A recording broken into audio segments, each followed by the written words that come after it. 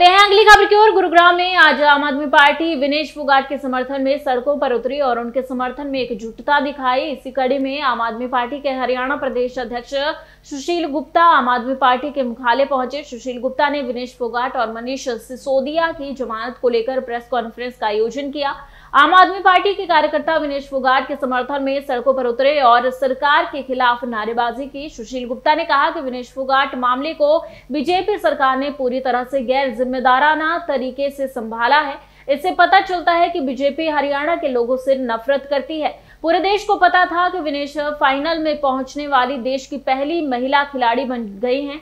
लेकिन बीजेपी नेताओं को शायद यह पता था कि कुछ और होने वाला है। हमें यह बाद में पता चला कि सौ ग्राम सौ ग्राम की साजिश, सौ करोड़ लोगों को उलझाकर रख गई।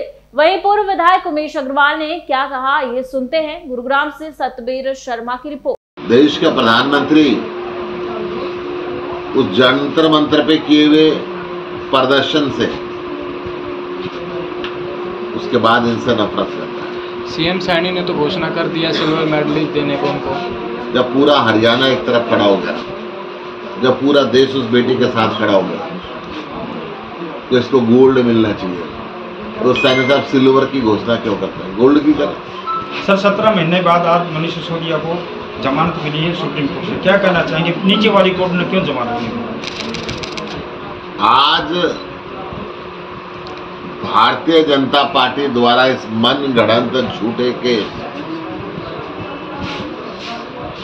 नरेंद्र मोदी की जो साजिश आम आदमी पार्टी को खत्म करने की, हमारे नेताओं को जेल में डालने की, इस साजिश को सुप्रीम कोर्ट ने करारा तमाचा लगाया। मैं सुप्रीम कोर्ट के फैसले का सम्मान करता हूँ। और आज मनीष सिसोदिया जी को जमानत दी गई और ये तय कर दिया गया कि इस छूटे फर्जी केस से आम आदमी पार्टी का दूर दूर तक संबंध नहीं। सुप्रीम कोर्ट ने भी कहा कि ये ह्यूमन अधिकारों के विरोध है कि बेकार में नाजायज परेशान करके आप 18 18 महीने